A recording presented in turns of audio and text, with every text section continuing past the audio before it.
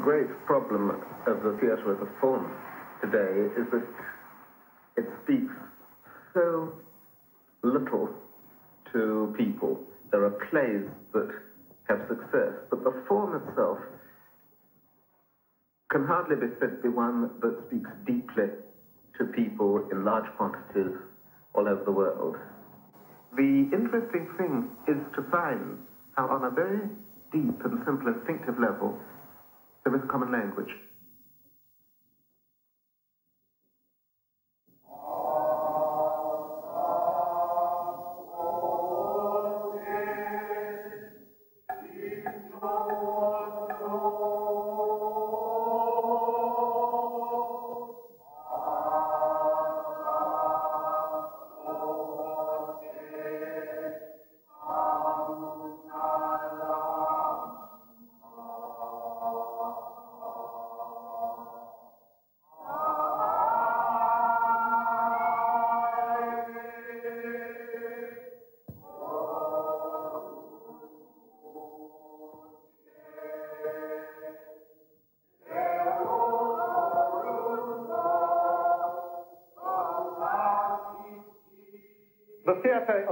In such a bad state and in such a state of confusion today that everyone, however much we're in research, very much wishes solutions to appear. What we're trying to do in this work is to discover what lies behind and what consequently invigorates the different forms.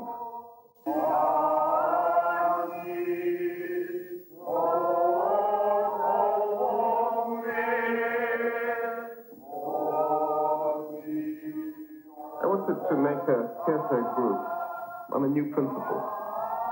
Instead of making a group of people who share the same background, who share all the elements of common language, not only the words they speak, but the same values, the same class, the same politics, and so on, as you find in any theatre group all over the world. To make a theatre group composed of differences, and pushing that to extreme, composed of people whose whole, not only their background, but right through to their natural body rhythms as different as can be, and through these differences find what is deeply common.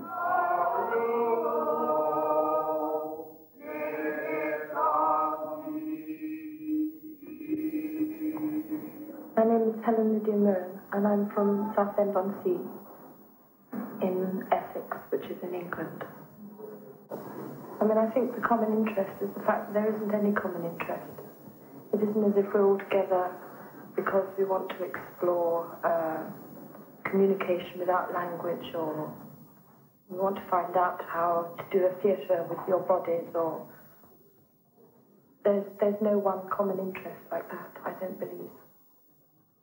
I came to this group because there was nothing else at that time that I wanted to do in the theatre or in acting. And that was because I was um, very wearied by the theatre in England. I'd been working for four years, non-stop. There seemed to be absolutely no reason in carrying on with that because it wasn't progressing anywhere. The group's work attempted to be more generous than it would be if it was just concentrating on one single thing, like getting a performance right for the evening. We tried within it to go out into the streets and find our relationship with the neighborhood. And yet that was just a portion of it. We also tried to come back inside and in great stillness and concentration find our relation with more subtle and difficult aspects of our work that normally escape us. And then, at the same time, recognize that we have another living obligation in research work to fellow workers, and therefore the meeting and demonstrating what we were doing and exchanging it with other groups, with other professionals, had its place. It's because of this that in our work in Brooklyn, we tried to make out of each day, each what we call a theatre day, a model day it's clear that there can't be any human difference between what's called actor and what's called audience. we're all the same thing in that way. But there is a difference because the audience can't be prepared. That's what makes it an audience. It has just assembled. The actors, on the other hand, are different in the sense that they prepare for the event. And this tiny difference is also a gigantic one. Everything really comes from what makes this difference right and what makes it possible for this difference gradually to change. And so in the first place, the actor comes to an audience to give something. But for the actor to be able to give something, he needs to prepare what he can give. And this preparation is a very long process. One of the sides of the preparations is a tuning, like a tuning of an instrument that goes on over a long time because there are many different strings to tune in different ways.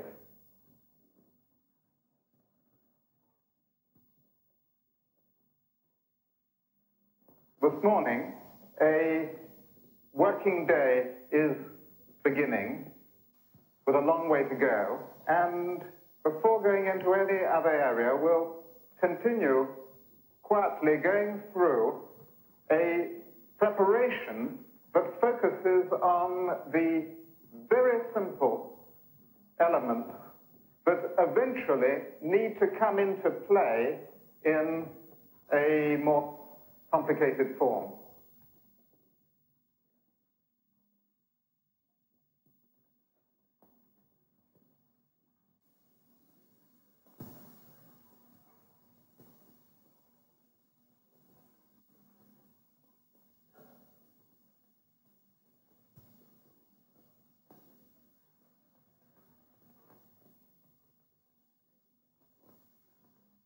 An exercise has got perhaps a general description, but it only becomes real between the people who are doing it. The leader of a group gives an exercise in a certain way for those people that particular day in those circumstances. And it can't be imitated. If it imitates, it's just taking the outer form of it, the top of the iceberg, and not the main part that's under the water.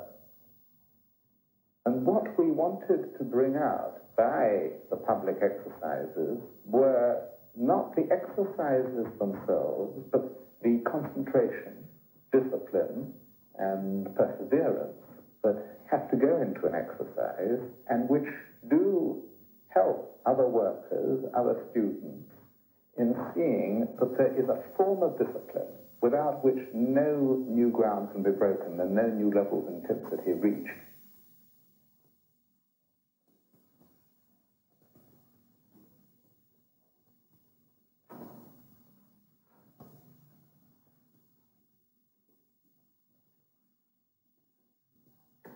It's always obviously valuable to, first thing in the morning, to do some physical exercise. Get, uh, you know, some something going between people as well as just to warm up your body. That's the kind of exercise that's deceptively simple. Uh, in fact, to get a sort of group movement going like that is, takes a lot of work and concentration.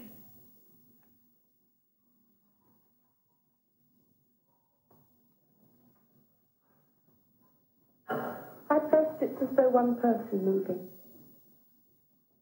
and not however many 10, 20, 30.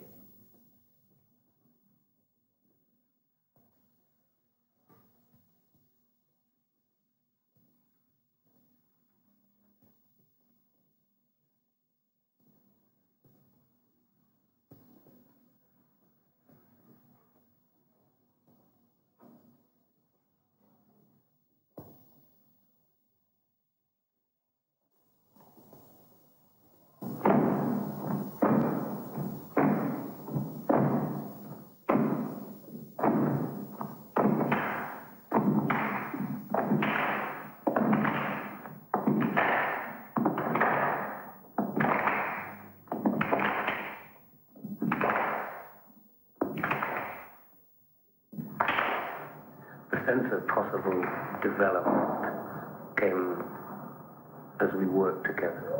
The more we worked together, the more we shared difficulties.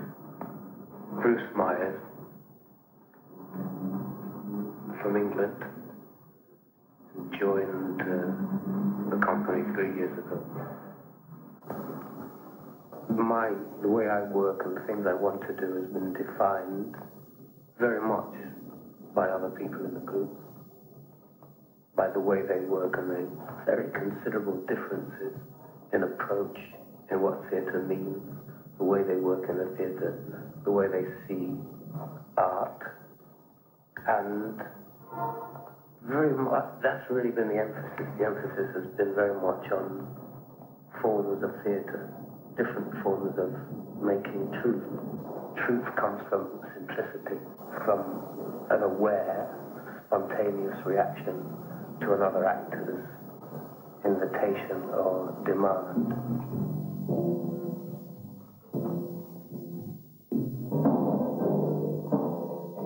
You watch three people walking at different speeds. One of them, suddenly, you find you're, you're believing. You're watching him, he's moving along, and you are believing him. What the hell that means, believing him, he's not doing anything, he's just walking.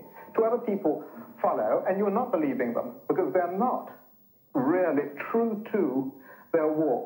They're thinking of something and their arms swinging according to one set of habits, their legs are something because they've got locked in another set of habits, and the whole block moving along is totally inexpressive or expressive of a thousand different haphazard things, and you're not believing a central intention. The actor who focuses all that at once becomes believable, even though there's no anecdote, no story, nothing to justify that. And you're believing something that has no name to it.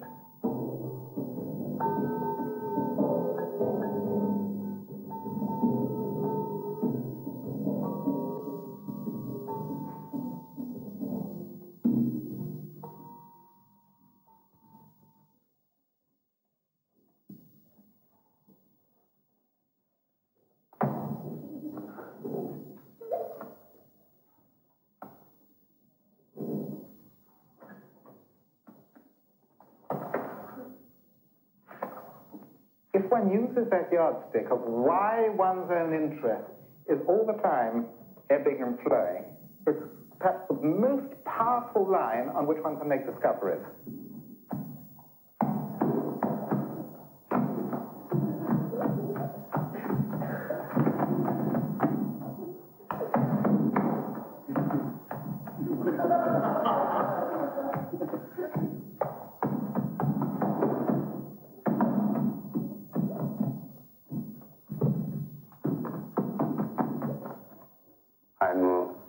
Katsuhiro Oida, come from Japan.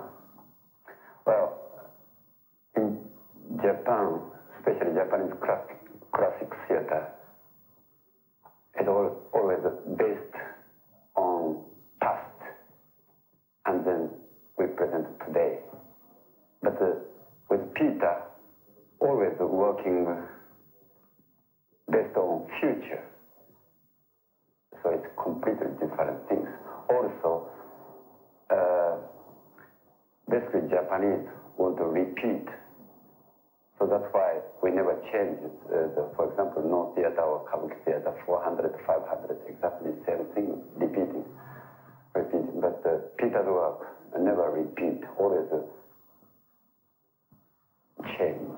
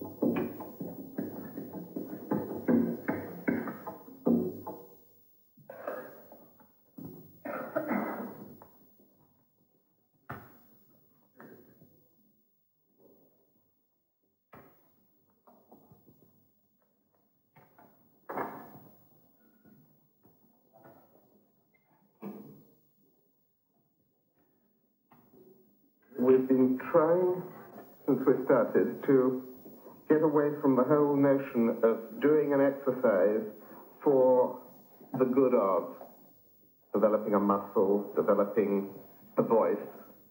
And we've tried to find what expresses itself always in a form that has a strong feeling. And we found that where moving the body for its own sake rapidly falls into some form of gymnastics, by making the movements that are guided by the stick, one is making something very beautiful, that the sticks floating through space are so beautiful in their own right that it tranquilizes the ego. The ego drops into the background, the whole sense that the theatre is a place for assertive self-expression, which is completely false, disappears, and in its place becomes a human body serving with pleasure the beauty of movements making silent geometry in space. And there is such a strong feeling to those that the actual gymnastics, putting the body into a state of alertness, happens by itself, while the ritual, and in a sense this is our ritual, is making something that needs great attention and great quietness altogether for the deep satisfaction that that brings. It's a satisfaction in coming together in a natural and communal act. But it's a form of celebration because making something beautiful that then disappears is a celebration.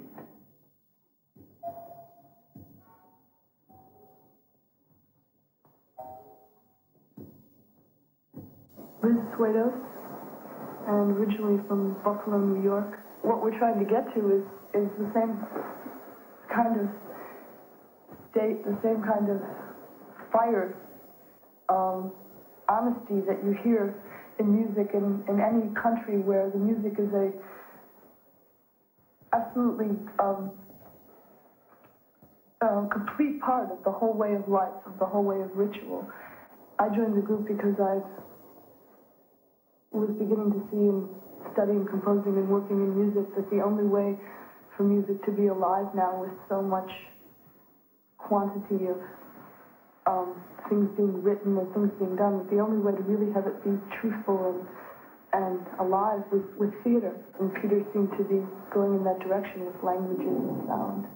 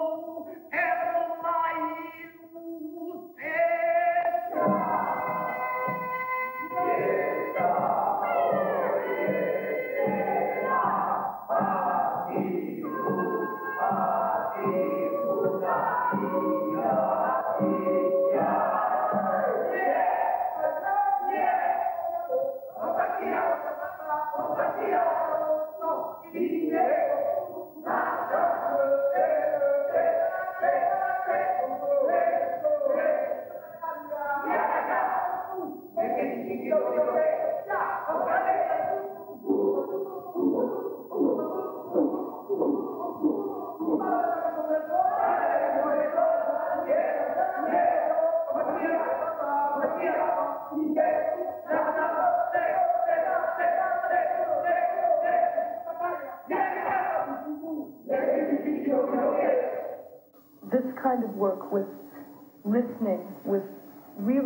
How to make sounds that are truly from inside of you, with not only doing that personally, but trying as a group to make something that has development, that builds as a piece of music and yet isn't written down, um, is something that takes probably a lifetime.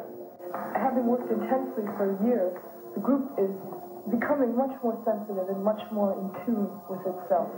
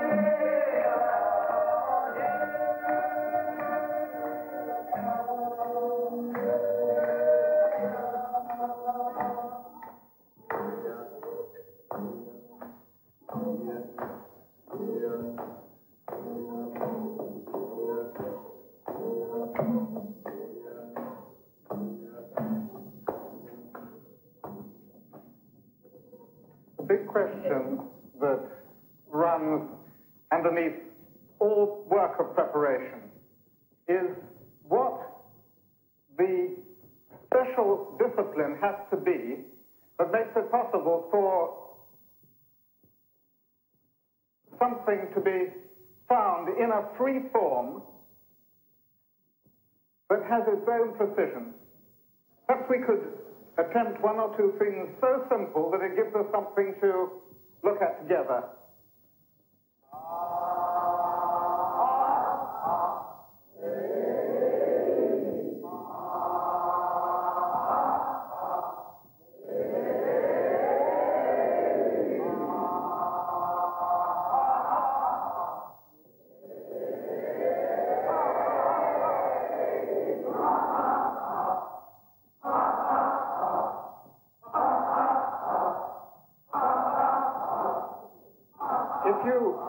Carefully to what is being made in this room, one can see that there two completely opposite ways of seeing. One of them is the attempt consciously to make a personal sound, a sound that is each person's form of expression.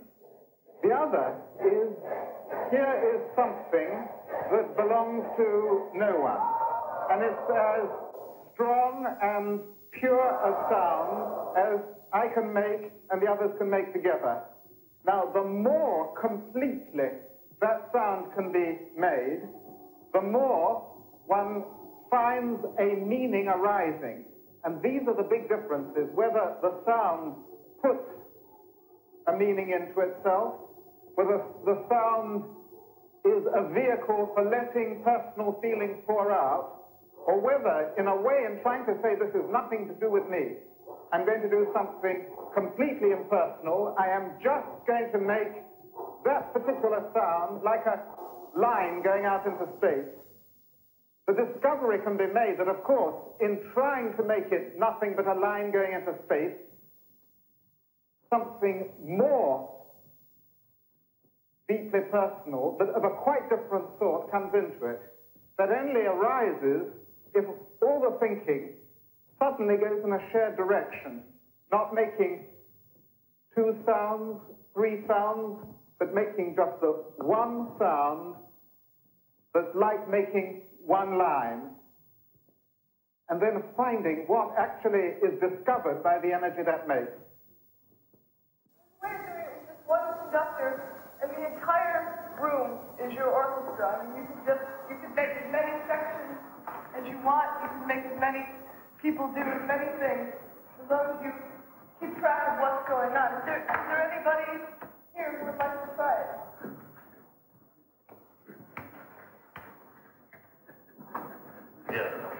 Okay. Thank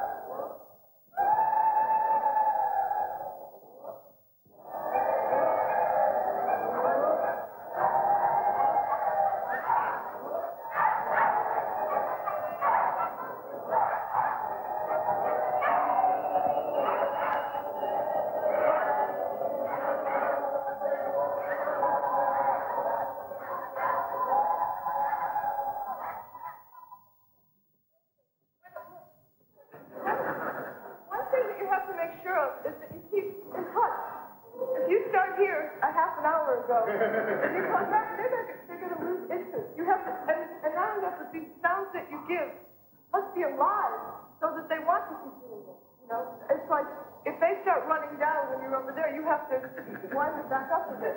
You also have to have such a clear idea in a way. You can hear everything. Like you were getting very muddled there. It was getting very noisy. Try much simpler, just much simpler, and make sure that you're in touch with everybody. Okay? In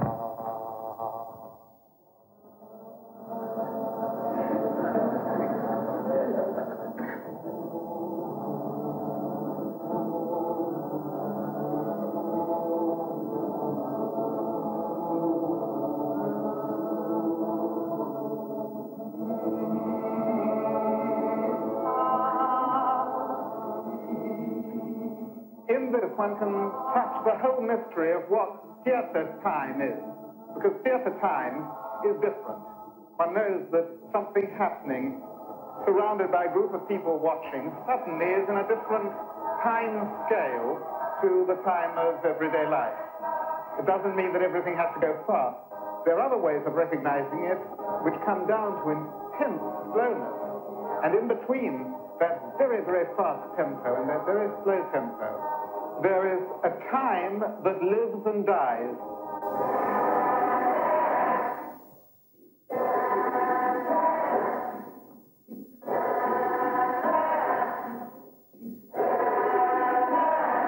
In this very simple exercise, there are two people who can come to exactly the same point. The one person who is doing the conductor, and the other, which is any person in the group who is actually making the sound. A moment where it's interesting for him, where he wakes up and he responds.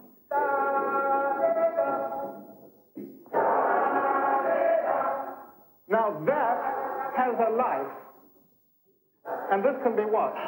It's born, it lives, and it begins to die.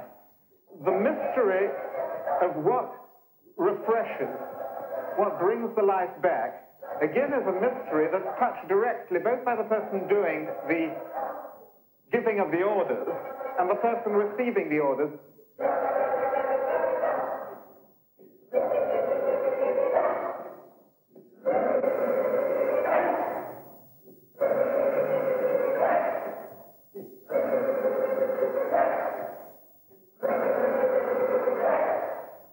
There comes a moment when the conductor gives a sound that is exactly the sound that you wanted to make. When that happens, then one touches the living process. It's not easy, but it can be approached if one keeps the working conditions incredibly simple.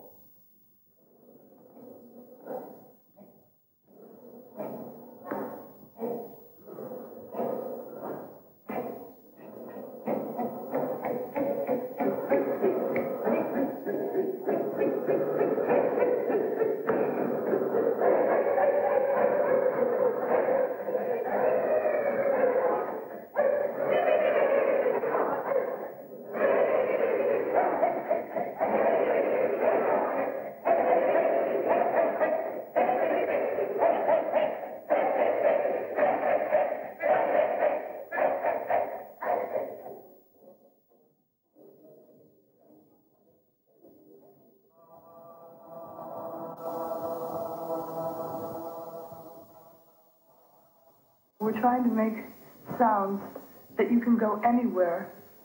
Uh, you can meet with any people, and they will they will hear the sounds, they will hear the music, and it will strike something in them. It won't be an old melody that they um, recognize. It won't be a, a a rhythm that they were brought up on. But there's something in the energy, in the belief in what we're doing, which will strike.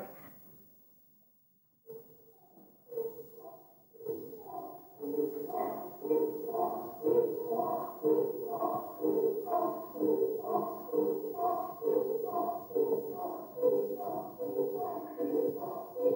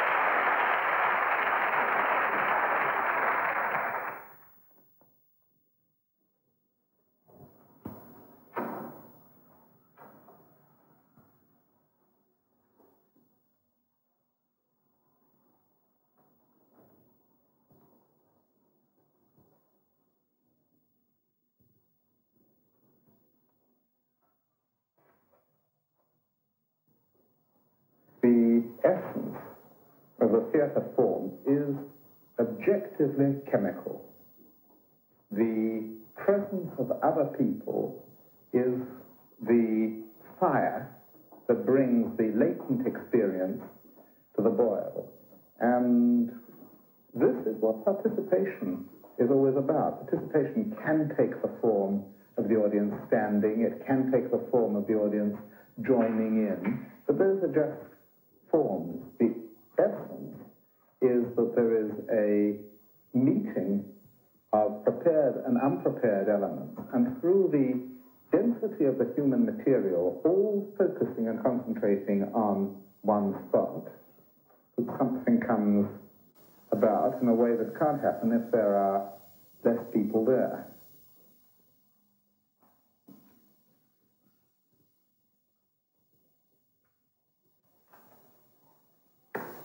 There's the sort of emotion that appears between two people in a realistic situation, and there's a very different sort of feeling that can spread through a group of people when everybody is doing a certain hand movement at the same time. And the beauty of that is, is very emotional and something that for us has been more interesting than cultivating the emotion that's the expression of personal problems and personal situations.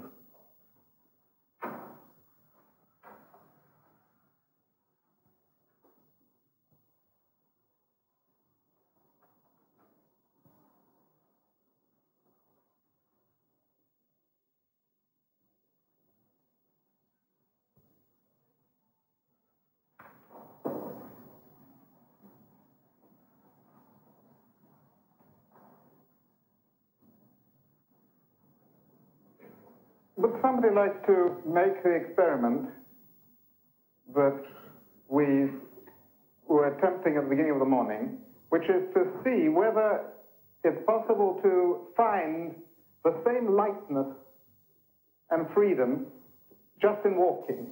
Try quite deliberately to change the speed of walking, trying to immediately make it totally meaningful, so that no part of you is left out. It isn't just meaningful for one part that moves faster and another drags behind. And that's where the problem begins to lie, because the head, the shoulders, the hips are all moving at, all tend to move at different paces, trying to do nothing unnatural, purely and simply moving slower or faster. It's not a matter of feeling relaxed. It's a matter of a sort of tuning of yourself so that when you decide, now, I will change tempo and move faster, you're completely alive and true to this new speed.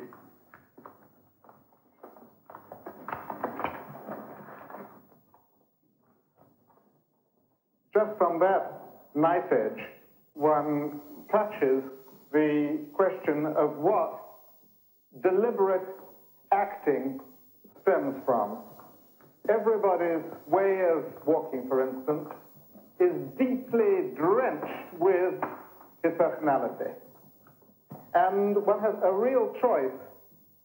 Is one going to develop those mannerisms, or is one trying to start from the point where everything, fingertips, toes, stomach, hips, drop one set of habits and pick up whatever the moment demands.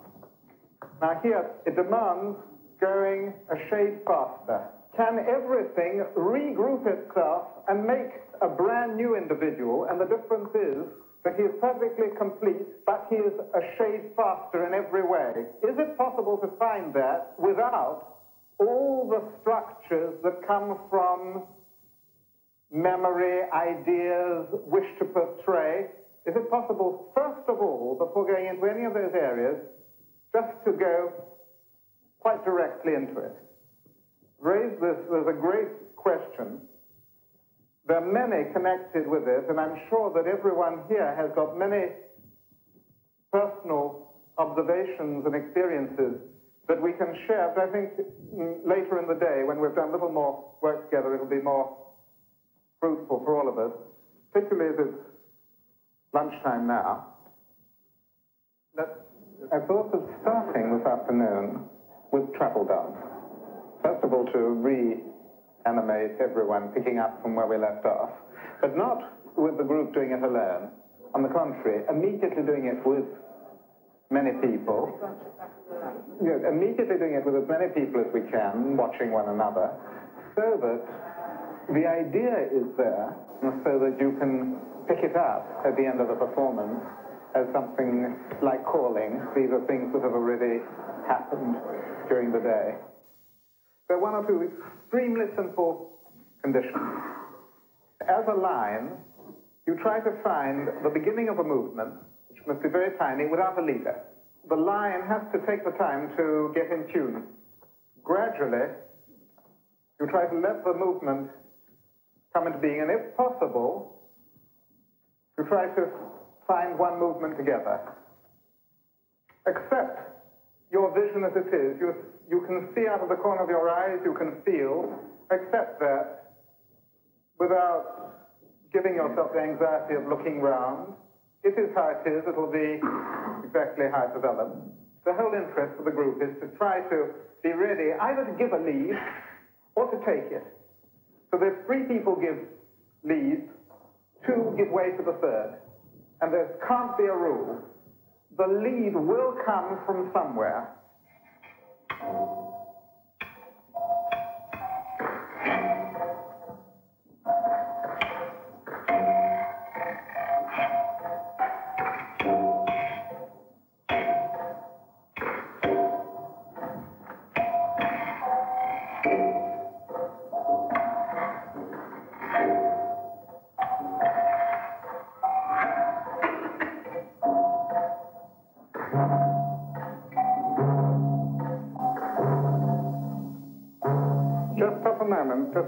I think there's something that isn't quite clear.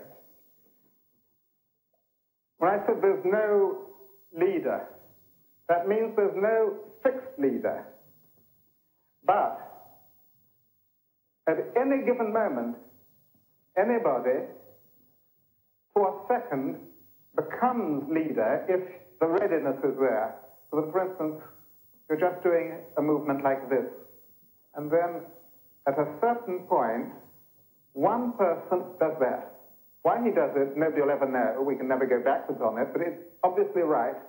And everybody else, out of the corners of their eye, are so ready for the next step that when suddenly it happens like that, everybody's with it. And in that way, it is possible for the impulse to be slowly gathering, slowly gathering, and then be led here, and then it's led there, and then it's led there, and then it comes to here, and then it's led again. Sometimes everybody finds something together, sometimes it comes from more one person than another.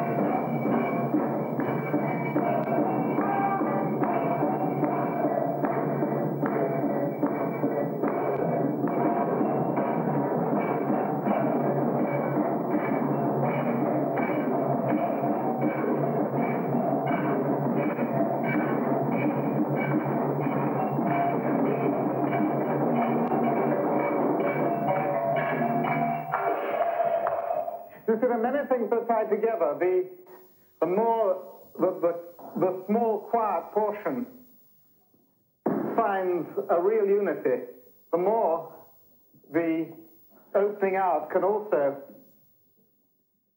find something that seems completely free, and yet in which a total unity is preserved.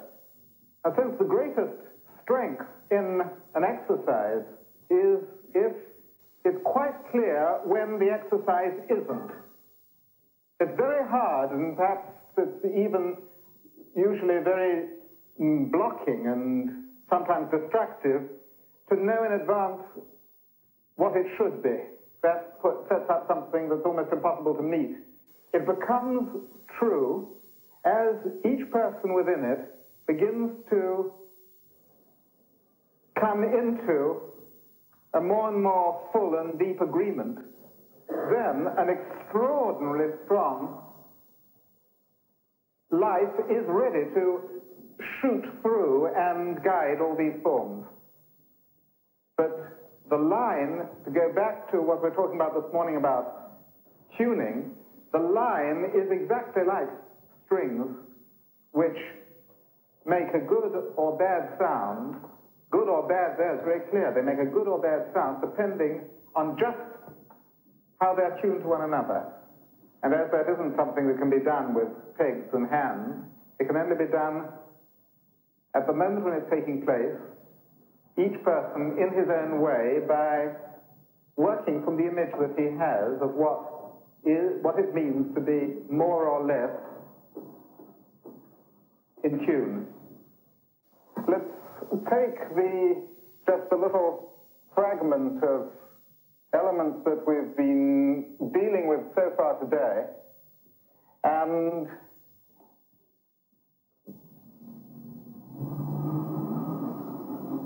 let's speak about them from any point of view anyone would like. Mr. Brook, would you say something about the relationship of the exercise to the performance? In what way? This is the place where there's mm. usually that chasm, at Yes. a gap. To cover all that's needed in a performance will cover more than the widest span of exercise could ever cover. And any exercise just develops one point. An actor, when he goes into performance, is really doing something so amazing.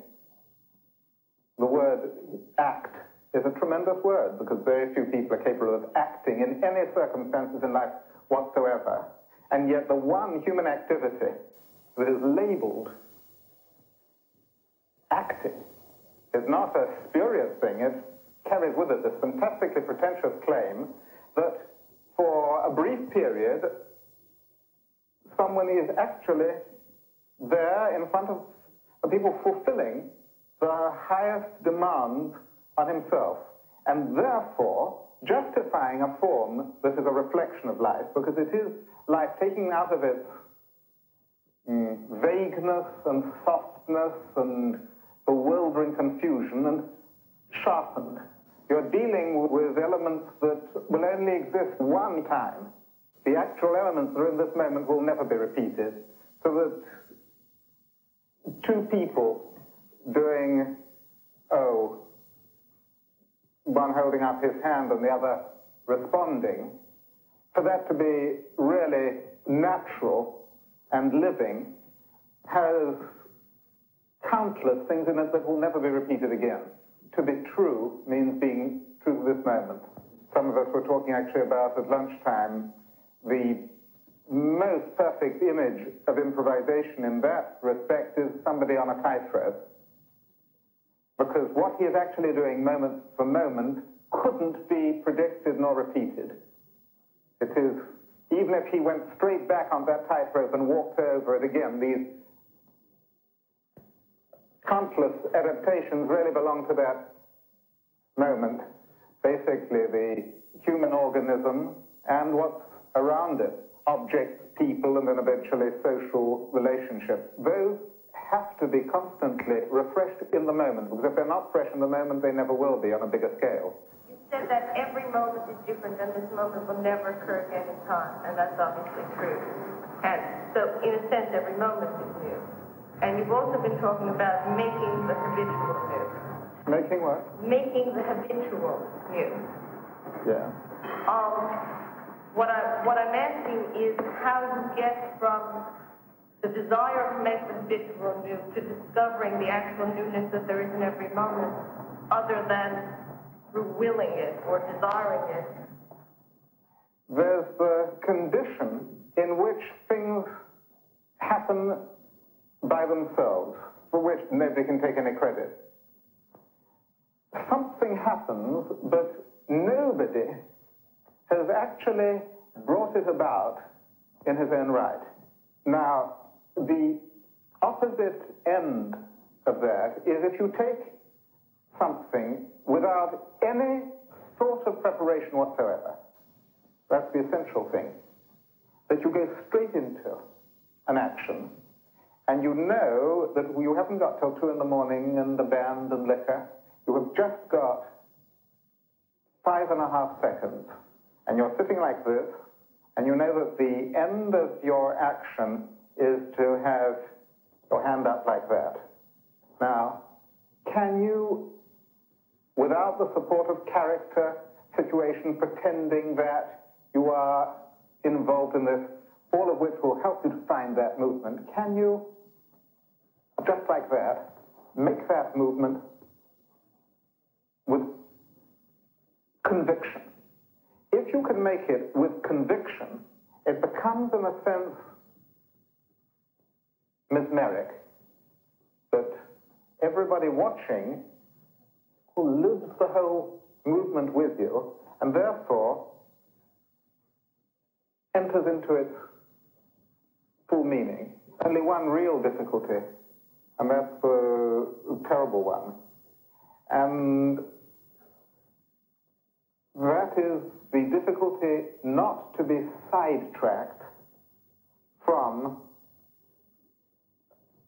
trying to cultivate something truthful. And that almost all the time, something is sidetracking that possibility. The moment that improvisation begins to take off and things begin to happen, you're again, you're in this, for the director, that's where you're in the terrible position. You stop it because it's beginning to go well. If you stop it when nothing's happened, if you stop it often enough when nothing has happened, then you'll prevent anything happening because everybody begins to agree that nothing's going to happen, and that in the end you convince them that nothing's going to happen. So when something begins to live, are you going to bang that on the head or chop it off? But at the, at the same time, the, the moment that's happened already, it contains in it the possibility of going off there, there, there, and amongst all those, there's only that one rare moment when it actually links to the next really growing possibility. So that that's really where the agony comes in. I say is the, the real danger is finding the place to stop. Not too soon and not too late. I don't know, I had huge expectations before I joined the group of a complete change in myself and in my acting and in my attitudes. With changes that large, they're not something you can pin down. I feel a change has occurred, but it's not something that I can put my finger on. You don't like discover new things like that. It's not the eureka. It's something I've learned. I thought that it would be eureka when I first came, but theatrical research, which is absolutely what it's been for a year. Just an experimentation, failure, experimentation, success, experimentation, failure, failure, failure, success, failure. You don't find things which you can hold on to. It's a very, very gradual and slow process. And the things that you find are elusive, but nonetheless there. I think it can be pursued individually alone with a great deal of strength. I mean the work just in oneself, because a lot of our work has been individual work on yourself. That work can be pursued with a lot of strength. I think the work as a group, the theatrical research can't be pursued without Peter and without the existence of the group. I believe it would have been a very risky thing if instead of coming to this group a year ago, I'd done a television series. That would have been incredibly risky for the rest of my life. It would have put the rest of my life in jeopardy. The great challenge is to do the right thing at the right time, in every way. And it's very difficult to, to find usually either one thing or the other thing is slightly off balance. And occasionally the two come together.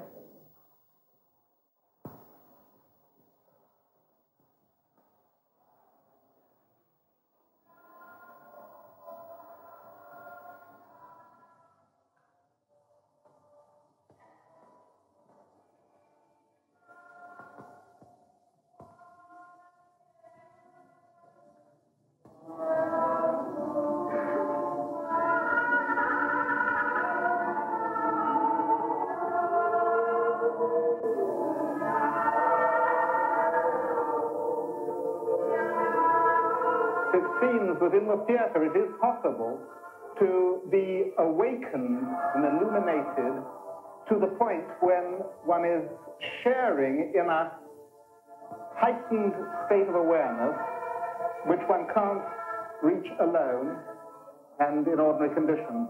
When it's found, because it is intense, unmistakable, and at the same time carries no recognizable shape, of course, it's common to everyone.